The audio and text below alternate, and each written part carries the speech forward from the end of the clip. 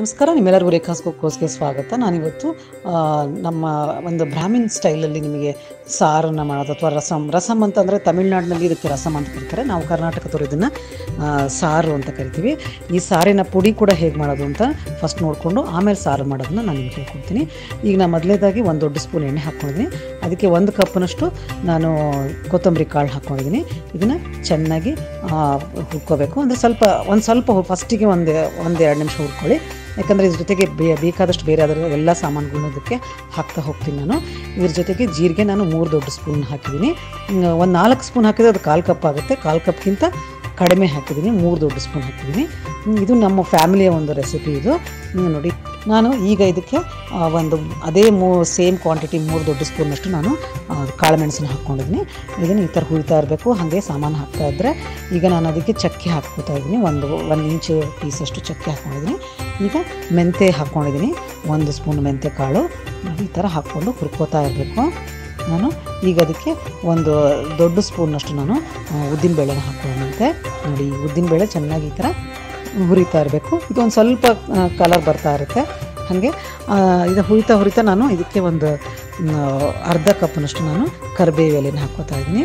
ಇದಾದ ನಂತರ ನಾನು ಒಂದು ಹತ್ತರಿಂದ ಹನ್ನೆರಡು ಬ್ಯಾಡಗಿ ಮೆಣಸಿನ್ಕಾಯಿನ ಮ್, ಹಾಕ್ಕೋಬೇಕು ನಿಮಗೆ ಬ್ಯಾಡಗಿ ಮೆಣಸಿನ್ಕಾಯಿ ಒಂದೇ ಬೇಡ ಅಂದರೆ ಅರ್ಧ ಗುಂಟೂರು ಅರ್ಧ ಬ್ಯಾಡಗಿನ ಹಾಕ್ಕೊಳ್ಳಿ ನಿಮಗೆ ಖಾರ ಜಾಸ್ತಿ ಬೇಕು ಅಂತಂದರೆ ನನಗೆ ಇಷ್ಟು ಸಫಿಷಿಯೆಂಟ್ ಇರೋದ್ರಿಂದ ನಾನು ಇದನ್ನು ಇದನ್ನೇ ಹಾಕೋತಾ ಇದ್ದೀನಿ. ಇದು ನಮ್ಮ ಅಜ್ ಅಜ್ಜಿ ಊರಿಂದ ಬಂದಿರುವಂಥ ಒಂದು ರೆಸಿಪಿ ಇದು. ಇದು ನಮ್ಮ ಅತ್ತೆಯವರಿಂದ ನಾನು ತೊಗೊಂಡಿದ್ದೀನಿ. ಇದಕ್ಕೆ ನಾನು ಈಗ ಒಂದು ಸ್ವಲ್ಪ ಹಿಂಗೆ ಹಾಕೋತಾ ಇದ್ದೀನಿ. ಇದು ಗಟ್ಟಿ ಹಿಂಗೆ ಅಂತಾರಲ್ಲ ಅದನ್ನು ಹಾಕ್ಕೊಂಡಿದ್ದೀನಿ ಇದು ಭಾಳ ಫ್ಲೇವರ್ ಇರುತ್ತೆ. ಜಾಸ್ತಿ ಹಾಕೋ ಅವಶ್ಯಕತೆ ಇಲ್ಲ. ಸ್ವಲ್ಪ ಹಾಕ್ಕೊಂಡ್ರೆ ಸಾಕು. ಈಗ ನಾನು ಇದನ್ನು ಚೆನ್ನಾಗಿ ಇದು ಮೆಣಸಿನ್ಕಾಯಿ ಕ್ರಿಸ್ಪಿ ಆಗಬೇಕು. ಆಮೇಲೆ ಒಳ್ಳೆ ಘಮ ಬರುತ್ತೆ. ಅಲ್ಲಿ ತನಕ ಹುರ್ಕೋಬೇಕು. ಇದು ನೋಡಿ ನೀವು ಮೆಣಸಿನ್ಕಾಯಿನ ಮುರಿದಾಗ ಇದು ಚೆನ್ನಾಗಿ ಮುರಿಬೇಕು. ಯಾಕಂದರೆ ಇಲ್ಲಾಂದರೆ ಅದು ಚೆನ್ನಾಗಿ ಹುರಿದಿರಲ್ಲ. ನೋಡಿ, ಈ ಥರ ಈ ಥರ ಚೆನ್ನಾಗಿ ಮುರಿಬೇಕದು ಅದನ್ನಾದ ನಂತರ ಈ ಥರ ನಾನು ಅದನ್ನು ಮಿಕ್ಸರ್ಗೆ ಹಾಕ್ಕೊಂಡು ಸಣ್ಣದಾಗಿ ಪೌಡ್ರ್ ಮಾಡ್ಕೊತಾ ಇದ್ದೀನಿ. ನಾನು ಈ- ಈ ರೆಸಿಪಿನ ಸ್ವಲ್ಪ ಪರ್ಫೆಕ್ಷನ್ ಮಾಡ್ಕೊಳ್ಳೋ ತನಕ ನಾನು ತೋರಿಸಿರಲಿಲ್ಲ. ಇದು ನಾನು ಇವಾಗ ನನಗೆ ಚೆನ್ನಾಗಿ ಬಂದಿದೆ ಅಂತ ಅನಿಸಿದ ತಕ್ಷಣ ನಾನು ತೋರಿಸ್ತಾ ಇದ್ದೀನಿ. ನೋಡಿದ್ರಲ್ಲ? ಮಿಕ್ಸರ್ ಹಾಕ್ಕೊಂಡು ಸಣ್ಣಗೆ ಪೌಡರ್ ಮಾಡ್ಕೊಳ್ಳಿ. ಬೇಕಂದ್ರೆ ನೀವು ಜರಡಿ ಮಾಡ್ಕೊಳ್ಬೋದು, ಅದು ನೆಸಸರಿ ಇಲ್ಲ ಅಂದರೆ ಹಾಗೇನೂ ಉಪಯೋಗಿಸ್ಕೋಬೋದು ನೋಡಿ ಇದಕ್ಕೆ ಈಗ ಸಾರು ಮಾಡೋದು ಹೇಗೆ ಅಂತ ನೋಡೋಣ. ಇದಕ್ಕೆ ಒಂದು ದೊಡ್ಡ ಸ್ಪೂನು ತುಪ್ಪ ಹಾಕ್ಕೋತೀವಿ. ಇದಕ್ಕೆ ಎಣ್ಣೆ ಹಾಕಿದ್ರಷ್ಟೊಂದು ಫ್ಲೇವರ್ ಚೆನ್ನಾಗಿರಲ್ಲ. ತುಪ್ಪನೇ ಹಾಕೋಬೇಕು ಅದಾದ ನಂತರ ಒಂದು ಸ್ಪೂನಷ್ಟು ಜೀರಿಗೆ, ಒಂದು ಸ್ಪೂನು ಸಾಸಿವೆ ಹಾಕ್ಕೊಳ್ತಾ ಇದ್ದೀನಿ. ನಾನು ಇದು ನಮ್ಮ ಅತ್ತೆಯವರಿಂದ ತೊಗೊಂಡಿರೋಂಥ ರೆಸಿಪಿ ಅವ್ರಿಗೆ ನಾನು ಥ್ಯಾಂಕ್ ಯು ಹೇಳೋಕ್ಕೆ ಇಷ್ಟಪಡ್ತೀನಿ. ನಮ್ಮ ಅಜ್ಜಿಯಿಂದ ಅವರು ಕಲ್ತ್ಕೊಂಡಿರೋದು, ಅವರು ನನಗೆ ಇದನ್ನು ಹೇಳ್ಕೊಟ್ರು ಹೇಗೆ ಮಾಡೋದು ಅಂತ. ಸೊ ಅವರಿಂದ ಕಲ್ತ್ಕೊಂಡು ನಾನು ಸ್ವಲ್ಪ ಟೈಮ್ ತೊಗೊಂಡೆ ಇದನ್ನು ಮಾಡೋಕ್ಕೆ. ಇವಾಗ ನನಗೆ ಚೆನ್ನಾಗಿ ಬಂದಿದೆ ಅಂದ ತಕ್ಷಣ ನಾನು ತೋರಿಸ್ತಾ ಇದ್ದೀನಿ. ಇದಕ್ಕೆ ಒಣಮೆಣ್ಸಿನ್ಕಾಯಿ, ಕರಿಬೇವು, ಹಿಂಗು ಎಲ್ಲ ಹಾಕೋಬೇಕು. ಇದು ಸ್ವಲ್ಪ ಅರಿಶಿನ ಹಾಕ್ಕೊಂಡು ನಂತರ ಟೊಮೊಟೊ ಹಾಕೋತಾ ಇದ್ವಿ ಈ ಟೊಮೊಟೊ ಆ್ಯಕ್ಚುಲಿ ನಮ್ಮ ಅಜ್ಜಿ ಮಾಡಬೇಕಾದ್ರೆ ಟೊಮೊಟೊನ ಹಾಕ್ತಿರ್ಲಿಲ್ಲ. ಈಗ ಟೊಮೊಟೊ ಇರಲಾರ್ದೆ ಸಾರು ಅಂತಂದರೆ ಯಾರಿಗೂ ಇಮ್ಯಾಜಿನ್ ಮಾಡ್ಕೊಳಕ್ಕಾಗಲ್ಲ ಅಂತ ನಾನು ಒಂದು ಹಾಕ್ತಾ ಇದ್ದೀನಿ. ಇದನ್ನು ಬಿಟ್ಟರೂ ನಡೆಯುತ್ತೆ. ಸ್ವಲ್ಪ ಟೊಮೊಟೊ ಮೆತ್ತಗಾದ ನಂತರ ನಾನು ಇದಕ್ಕೆ ನೀರು ಹಾಕ್ಕೊತೀನಿ ಒಂದು ಸ್ವಲ್ಪ ಅಂದರೆ ಚೆನ್ನಾಗಿ ಟೊಮೊಟೊ ಮೆತ್ತಗಾಗಲಿ ಅಂತ. ನೋಡಿ, ಇದಷ್ಟೊಂದು ನೀರು ಹಾಕ್ಲಾರ್ದೆ ಹಾಗೆ ಮಾಡೋಕ್ಕೋದ್ರೆ ಮೆತ್ತಗಾಗಲ್ಲ ಅಂತ. ಸ್ವಲ್ಪ ಮೆತ್ತಗೆ ಮಾಡ್ಕೊತಾ ಇದ್ದೀನಿ ಟೊಮೊಟೊನ.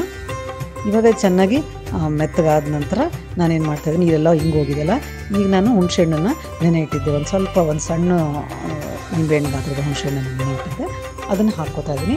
ಈ ಹುಣಸೆಹಣ್ಣು ನೀರು ಹಾಕಿದ ತಕ್ಷಣ ಒಂದು ಇಂಪಾರ್ಟೆಂಟ್ ಥಿಂಗ್ ಅಂದರೆ ಚೆನ್ನಾಗಿ ಕುದಿಬೇಕು ಇದು ಇದು ನಮ್ಮ ಅಜ್ಜಿ ಮಾಡ್ತಿದ್ದಿದ್ದು ಒಂದು ರಸಮಿನ ಫ್ಲೇವರ್ ಏನಂದರೆ ಇದು ಚೆನ್ನಾಗಿ ಕುದ್ದಾಗ ಅದೊಂದು ಏನೋ ಒಂದು ಸ್ಮೆಲ್ ಬರುತ್ತೆ, ಅದ್ರ ಪರಿಮಳ ಇರುತ್ತೆ.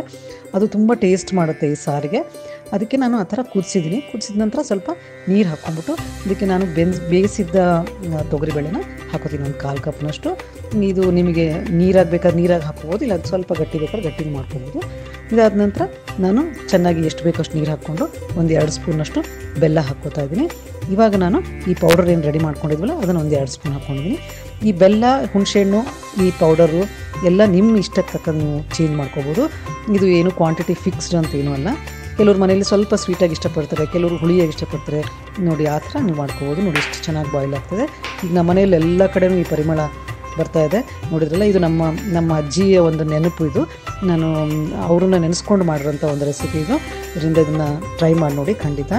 ಥ್ಯಾಂಕ್ ಯು ವೆರಿ ಮಚ್ ನನ್ನ ಚಾನಲ್ನ ವಾಚ್ ಮಾಡಿ, ಧನ್ಯವಾದಗಳು.